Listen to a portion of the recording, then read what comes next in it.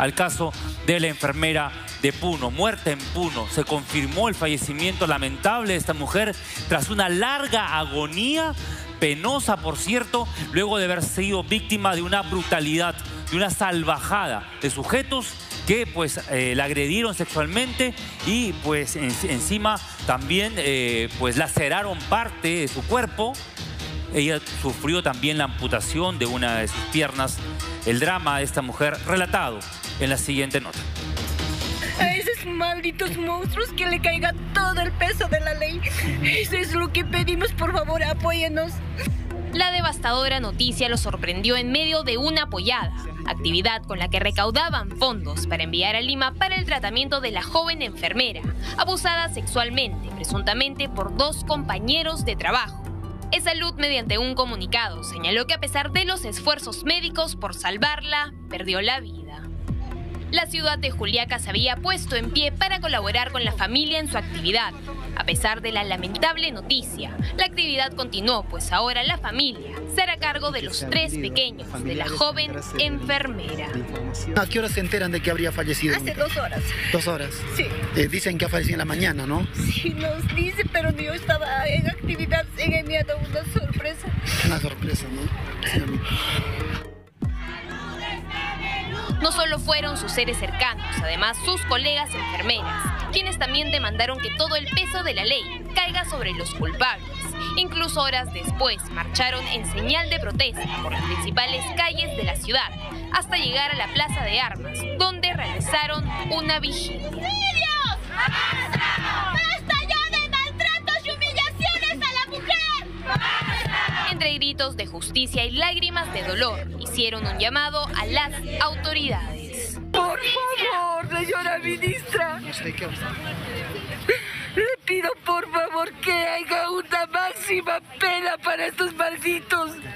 ¿Cuántos feminicidios más? Por favor, le suplico. Fueron más de 12 días en los que la enfermera de 32 años tuvo que luchar por su vida tras ser agredida y abusada sexualmente. Era padre y madre de sus pequeños de 6 y 4 años, además de un bebé de apenas 7 meses. Ahora esperan la llegada de sus restos a la ciudad de Juliaca para darle el último adiós.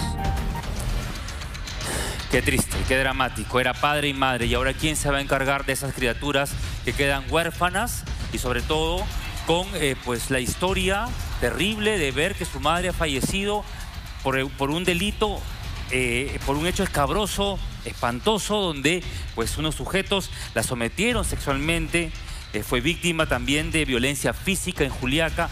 El, reporte de los médicos de salud señalan pues con mucho a pesar que ya no pudieron salvarle la vida. Recordemos que ellos habían lacerado eh, parte de su cuerpo. el trabajo médico por salvarle la vida ha sido tremendo. Se le amputó una pierna y ahora pues eh, es la indignación generalizada. ¿Dónde están los responsables, verdad? ¿Quiénes son los responsables? Porque hay que encontrar culpables aquí. Una víctima, una muerte, una mujer muerta en estas circunstancias no puede su fallecimiento quedar impune. Aquí hay que indagar, investigar y dar con los verdaderos culpables. El problema, es que ya, el problema Fernando, es que ya se va tarde. El problema es que ya vamos tarde. Mira, ¿cuánto tiempo ha pasado? Efectivamente, el problema es que vamos tarde y el, problema es que cuando ocurren este, este, tipo de salvajadas, porque esto es una salvajada, esto es inhumano lo que, lo que ha pasado con, esta chica, eh, debería de haber una acción, paralizar todo, Fernando, paralizar todo para, para, para demostrar con un ejemplo de que las cosas se pueden solucionar rápido y de que estamos preparados para activar organismos que, que rápidamente eh, den con, las personas que hacen estas animaladas. Pero el problema es que no ocurre eso. Y tener en cuenta, Maju, Santi, todos los agravantes. Aquí ha habido ensañamiento, ha habido secuestro, ha habido pues feminicidio. Se ha actuado con una brutalidad tremenda. De verdad que ese tipo de cosas eh, son tan dolorosas que los tocamos día tras día y es doloroso. A mí me, me cuesta mucho tocar porque ves las imágenes y te pones a pensar de, la brutalidad con la que actuaron, con lo que se produjeron los hechos, porque actuaron con premeditación. O sea, ¿cómo vas a planear hacer esta desgracia tan terrible, violentar de esta manera tan abrupta a una mujer? ¿No? ¿Cómo, ¿En qué cabeza, en qué cabeza me pregunto? Y también me pregunto, ¿qué tipo de derechos pueden tener personas que le quitan la vida a alguien? Solamente para, para eh, ver todo lo que ella sufrió, ¿no? Eh, lesiones graves por una fuerte golpiza, cortes que tuvo en manos, en las manos y en otras partes del cuerpo, eh, se le tuvo que amputar la pierna y la reacción también del cuerpo de enfermeras, del gremio de enfermeras, no se ha hecho esperar. Pero ¿sabes qué? Perdona, Maju. Eh, sí tienen derechos. Por desgracia, el día que los cojan, tienen Ah. derechos. ¿Y sabes cuál es el Increíble. problema? El derecho que los van a meter presos, pero van a tener derecho a comer, a cenar, a desayunar, a- a- aunque vivan en una celda, pero tienen a, to- a todos esos derechos. ¿Y sabes qué? Todo eso lo pagamos con los impuestos de los que trabajamos y de los que hacemos las cosas bien. ¿De Por verdad? desgracia tienen derechos. De verdad que estas acciones macabras, no, tenemos que estar lamentándolas en todo momento, hasta ver que una mujer más ha sido asesinada. Karina está en vivo con las enfermeras, compañeras del Colegio de Enfermeras del Perú en Jesús María, porque ellas están haciendo realmente un plantón ahí, indignadas con lo que ha sucedido con la víctima. Karina, buenos días. Compañeros, ustedes lo han contado muy bien. Este es el relato del horror. Una enfermera, madre de tres niños, es violada, es golpeada, es torturada, es tratada de descuartizar vida, viva, completamente viva. Es encontrada, auxiliada, va un médico legista y declaran, según este parte médico, lesiones leves. Llega a Lima, le amputan la pierna, entra en coma y fallece el día de ayer. ¿Cómo no vamos a sentir dolor como mujeres? ¿Cómo no vamos a sentir dolor como madres? Esta enfermera tiene tres niños, la mayor tiene seis años, la siguiente cuatro años. Y el último es un bebito de ocho meses que hoy quedan en la orfandad.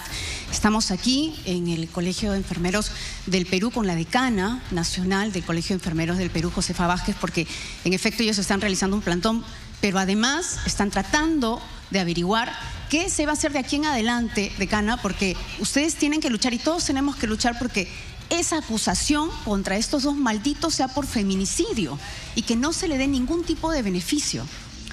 Muy buenos días. Quiero agradecer eh, la oportunidad que nos dan de hacer llegar directamente a todos los familiares de la colega fallecida desde acá, desde el Colegio de Enfermeros del Perú, nuestras sentidas condolencias. Las más de 107 mil enfermeras del país hoy estamos de luto. Y estamos de luto por un acto execrable ocurrido en Ayaviri Puno, como muy bien lo han manifestado, y nosotros como colegas, como autoridades, estamos acá viendo todas las gestiones para que la colega, sus restos puedan llegar a Puno y tener una cristiana sepultura. ¿Qué es lo que se sabe, lo último que se sabe acerca de ese parte médico y de los procedimientos que se van a seguir de aquí en adelante? Porque esa necropsia que se tiene que acelerar tiene que determinar que esas lesiones no fueron leves. Efectivamente, por eso es que justamente por orden del fiscal, el cuerpo de nuestra colega está hoy en la morgue, porque tienen que hacerle la necropsia de ley para un poco comparar con, los, con el peritaje médico inicial que le pusieron lesiones leves. Eh, entendemos porque hay comunicación directa con la ministra de la Mujer y yo quiero agradecerle el apoyo que hemos tenido de ella y de todo su equipo desde el primer día que sucedió este hecho. Eh, sabemos que el día de hoy van a hacer la necropsia. Luego de la necropsia, eh, más o menos terminarán a la una de la tarde. Esa hora debería salir un avión del ejército que también se ha coordinado ya el traslado, porque acá en Lima están los hijos, están las hermanas, está la madre y tienen que acompañar justamente el traslado de la colega a Puno. Pero por el tiempo, entendemos, nos, eh, nos han dicho, a no ser que en última hora cambien los hechos, que estaría saliendo mañana viernes a primera hora el avión que traslada los restos de la colega. Nos preocupa mucho la situación de estas tres criaturas, tres criaturitas, tres angelitos que se quedan sin su madre. Yo le preguntaba fuera de cámaras, ¿hay algún fondo que esté atendiendo económicamente en este momento a la familia? Porque sabemos que la madre, es decir, la abuela de los pequeños, está haciendo cargo. Y de otro lado, si están recibiendo apoyo psicológico. Esas criaturas ah, no han visto a su madre de un día para otro y no saben qué pasó. Bueno, desde el primer día que sucedieron los hechos, la decana de la región Puno, eh, tan igual que nosotros, hemos brindado apoyo a la familia, apoyo económico. Acá en Lima, el Consejo Regional 3 ha brindado el alojamiento hasta el día de hoy a los niños, a toda su familia. El Ministerio de la Mujer también ha brindado apoyo eh, para la parte de alimentos. Eh, sin embargo, nosotros también vamos a apoyar a esos niños, pero quisiéramos que es, siendo un caso tan emblemático, tan difícil para nosotros, sobre todo para la mujer, hoy tocó una enfermera, pero este caso es para la mujer peruana.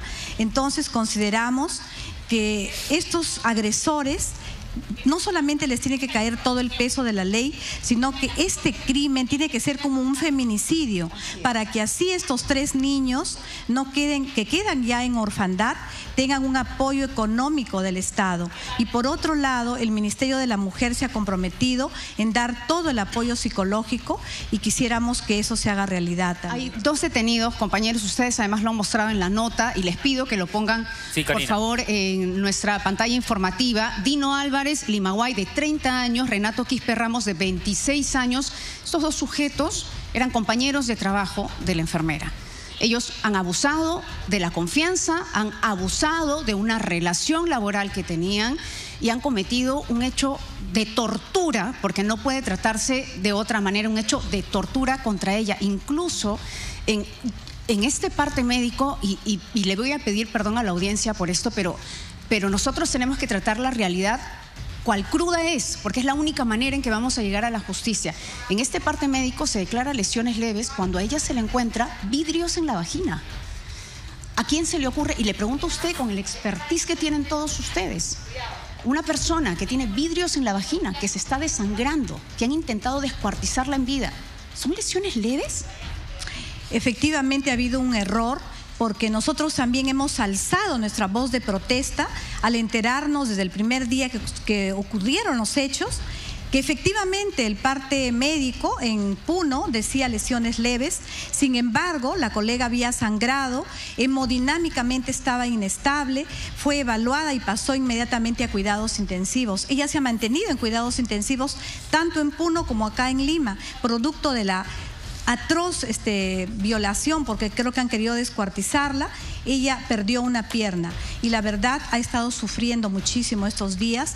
Y nosotros quisiéramos como autoridades del Colegio de Enfermeros que este caso no solamente no quede impune, sino que sirva para que las políticas de nuestro país se mejoren, que sirva para que se trabaje de manera transversal con todos los estados, desde el colegio, desde la casa, desde la justicia sobre todo, para que estos violadores tengan penas cadena perpetua, porque no podemos seguir esperando que la mujer peruana siga siendo atropellada y que simplemente lo contemos los casos cada día como algo anecdótico. Esto tiene que parar. Pero Karina, Karina... un caso más. Sí, Karina, lo que pasa es que estaba escuchando y, bueno, hay algo que no...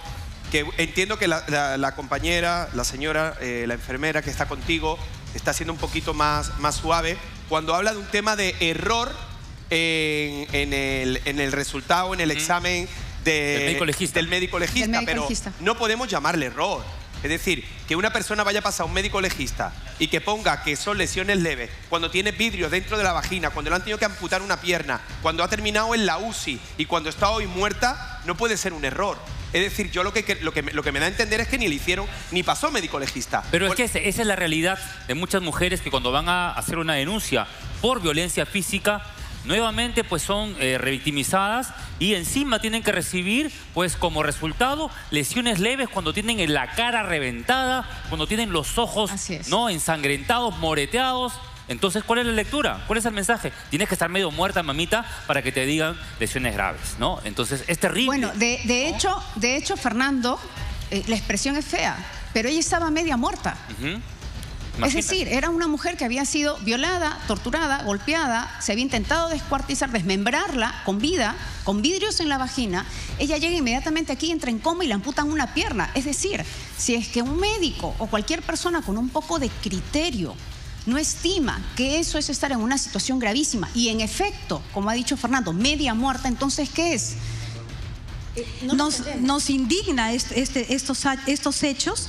Estamos indignadas porque no hay relación entre lo que vemos con nuestra colega y el parte médico. Y creemos que el Poder Judicial, el Ministerio Público tiene que intervenir. Y estos malos jueces, malos fiscales, y tengo que decir los malos médicos, legistas, tiene que llegar a un fin porque la justicia en nuestro país tiene que priorizar la vida y la salud del ser humano. Porque ahora, Karina, eh, Karina... ¿Quién es el médico legista sí, Santi? Sí, Karina, que eh, por, ahí eh, viene la cosa. a mí ahora me salta una pregunta al aire. Si ese médico legista, en el momento que ella llega, hubiera dado otro, otro, otro parte completamente distinto y se hubiera percatado de los problemas que llevaba, a día de hoy podríamos decir que esta chica estaría viva? Tampoco creo yo, pero quizás se hubiera actuado con mayor diligencia en la captura ¿no? de, estos detenidos, que ya obviamente están en manos de la policía y la justicia, pero eh, salvarle la vida a una persona que estaba pues como bien hemos comentado por ese parte médico escabroso, macabro, doloroso, por cierto, no sé si hubiera sido posible, Karina capaz un traslado más inmediato, ella, ella es alertada. Las circunstancias, y esto es algo eh, eh, cuyos detalles todavía no se conocen, las circunstancias en las que ella es hallada, todavía no se conocen eh, concretamente. Es decir, la familia está manteniendo esta información en reserva y lo respetamos. Por supuesto, pero es la justicia quien tiene que recoger. Así es.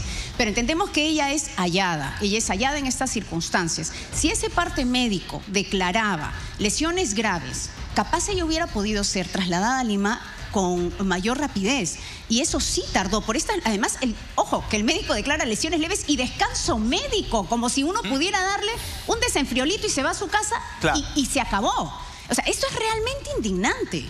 Sí, eso nos ha indignado a nosotros como autoridades, tal es así que conociendo la gravedad del caso, nosotros ese mismo día yo llamé al, Ministerio de Salud, me comunicaron con SAMU, yo de SAMU llamé al gerente de operaciones de salud y le pedí que trasladen a la colega, pero la colega estaba en muy mal estado de salud, hemodinámicamente y con ventilación mecánica no podía ser trasladada, entonces me dijeron no es posible, pero luego hemos estado insistiendo sábado, domingo y el día lunes, y bueno, también por presión de la prensa, tengo que agradecer, nosotros hicimos un plantón acá en el colegio, exigimos el traslado porque queríamos que nuestra colega tenga la atención de la institución más sofisticada, de la mayor capacidad resolutiva para ver qué se podía hacer con ella. Gracias a Dios vino, fue atendida, se ha hecho todo lo posible, pero un desenlace fatal, terrible, y esto tiene que servir, yo creo, no solamente para contarlo como una noticia, sino para tomar medidas inmediatas para que este caso nunca más se vuelva a repetir. Y quiero aprovechar también el espacio para decir que las enfermeras trabajamos a lo largo y ancho del país en todos los niveles de atención y estamos expuestas.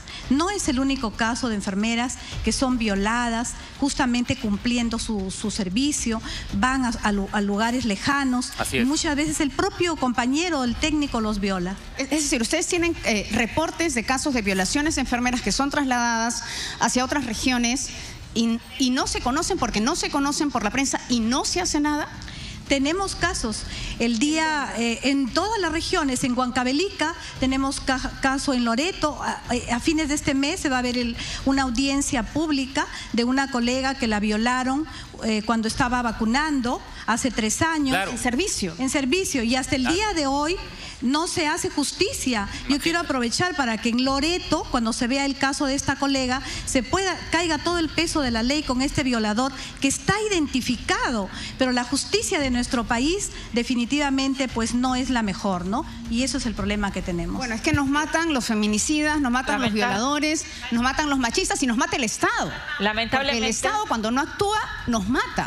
Karina, queremos agradecerte, Karina, a ti por este enlace también en directo. Sí, lamentablemente, Karina, tienes toda la razón. gracias. La corrupción en el país la vemos en todos lados y se tiene que investigar a estos médicos legistas porque si han incurrido en un delito tienen que destituirlos y también tienen que hacerse cargo de, lo que han hecho. Así que una investigación también hacia todos estos médicos legistas. Te agradecemos mucho, Karina, de igual manera a todas las enfermeras que han estado esta mañana con nosotros hablándonos de este caso de terror que tenemos que tocar, lamentablemente, de un feminicidio más. Gracias, Karina por esto y es que realmente es desgarrador porque estuve viendo un video del tío de la víctima, de la enfermera que contaba con todos los hechos, que paso a paso cómo había sucedido y de verdad que es desgarrador escuchar todo lo que estos eh, sujetos violadores, feminicidas han hecho contra la víctima. En este momento quiero decirles que hasta el día de hoy, hasta el mes de abril, hay 51 feminicidios en el país. Imagínense esta cifra tan alarmante para nosotros. Hasta el día de hoy, 51 feminicidios. Y esta cifra, en esta cifra no están los casos de agresiones físicas y de agresiones psicológicas. Imagínense esto. Esta es la realidad de nuestro país y quiero decirles que en vivo también nos encontramos con un corresponsal que se encuentra en Puno con una parte de la familia de la víctima, ya que una parte de la familia se encuentra en Puno y nos va a dar más alcance sobre lo que vienen viviendo. Adelante compañero, en Puno, imágenes ya desde la ciudad del Altiplano con eh, las reacciones que se tienen ahí tras la muerte de esta enfermera luego de una larga agonía.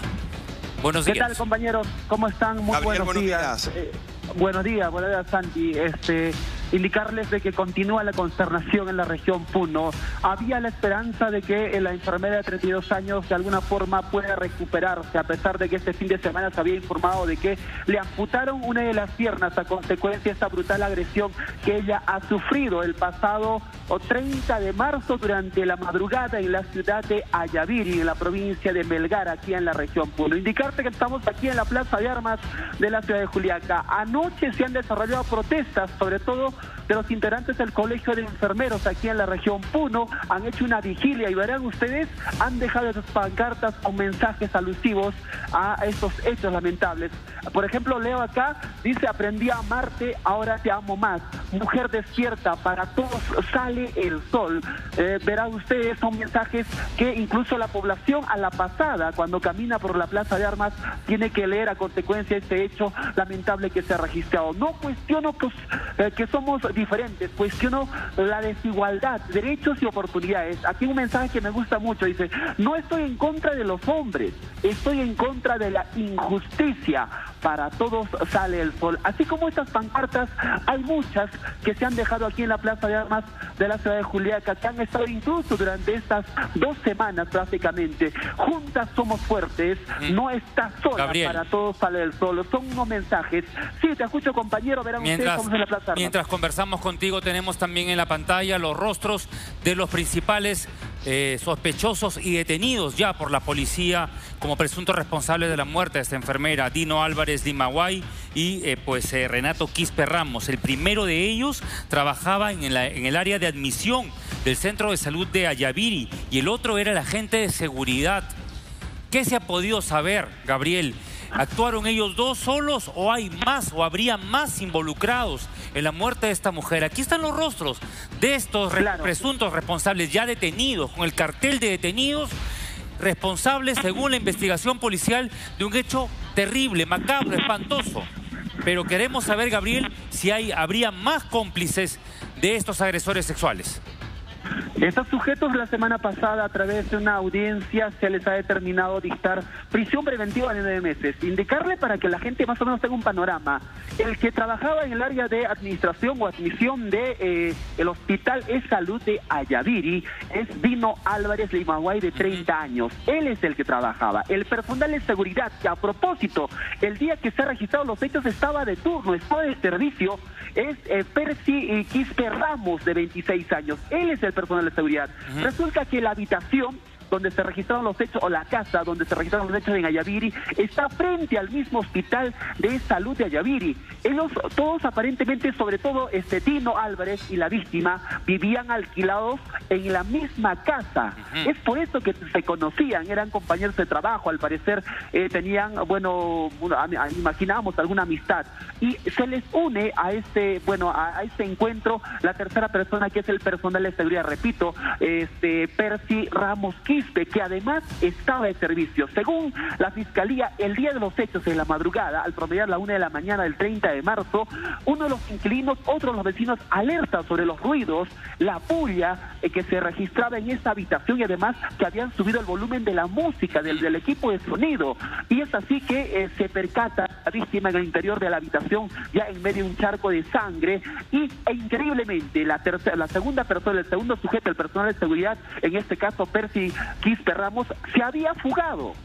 Cuando la diligencia, cuando el sector de la diligencia de la policía ya lo había capturado y eh, precisamente ha cambiado, uniformado como personal de seguridad en el, en el, en el hospital de salud de Adeviri. Es ahí donde lo capturan, incluso en el transcurso de las horas el solamente, pasado de marzo. solamente son ellos dos, estos dos hombres son los únicos que hasta ahora la policía ha eh, detenido como presuntos responsables, no hay más. Efectivamente, aparentemente, según la hipótesis del Ministerio Público, serían solamente los dos. Y eso que esas dos personas no han dado declaraciones. Eh, eh, bueno, en el tiempo que han tenido de defenderse en la audiencia de prisión preventiva, han preferido guardar silencio. la familia, repito, la familia sospecha de que haya más implicados. Incluso hasta sospechan de la expareja de la enfermera, que a propósito ya tenían más o menos más de un año de separados y al cuidado de, de la mamá de la enfermera se encontraban estos tres menores que ahora quedan en el Muchas gracias. Ha sido desde Puno nuestro compañero Gabriel Quispe, porque ahí hay indignación, hay dolor, hay rabia contenida por la muerte espantosa que ha tenido esta mujer y desde aquí solamente extenderles un abrazo. No podemos hacer nada para devolverles a su hija con vida, pero sí eh, pues solidarizarnos y también invocar a la justicia y a los médicos legistas, ¿no? Que hagan bien su trabajo. No se puede considerar lesiones leves a una mujer que ha llegado medio muerta y que ha sido prácticamente víctima de una tortura. El programa continúa, aquí están los rostros para que, para que lo tengan muy en claro. Lo mismo, esperamos que ya llegue pronto Sergio Tarache, el asesino ¿no? de Catherine, que está en Colombia detenido, la víctima esta jovencita que fue también pues, eh, quemada viva por su agresor.